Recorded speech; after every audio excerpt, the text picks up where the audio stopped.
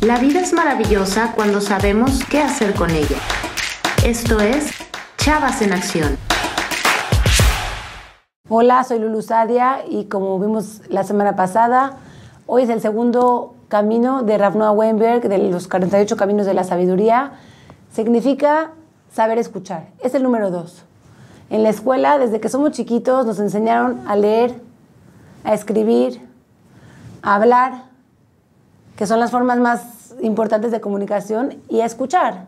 Sin embargo, la palabra escuchar está muy lejana a lo que nosotros somos como seres humanos, a lo que nosotros aplicamos como seres humanos. Desgraciado afortunadamente, Dios nos dio oídos, no para oír, nos dio oídos para escuchar. Cuando el rey Shlomo fue coronado como rey, dijo, por favor, Diosito, dame por favor un corazón que sepa escuchar a mi pueblo. ¿Para qué? Cuando una persona escucha realmente lo que el otro quiere decir, puede dar un buen consejo más allá de lo que se debe de decir, se deja de parafrasear, se deja de agarrar la última parte de la palabra para decir, sí, te estoy escuchando. Hay que aprender a escuchar, porque oír, todos podemos oír, los animales pueden oír, pero realmente escuchar nos hace cambiar. El que otros escuchen lo que tú dices, se siente bonito. Haz lo mismo con los demás.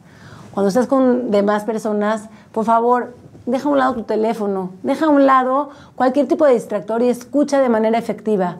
Porque en el Shema Israel es lo que nos piden, lo primero que nos pide en el Shema Israel, que es el texto que casi todo el mundo conoce, escucha Israel.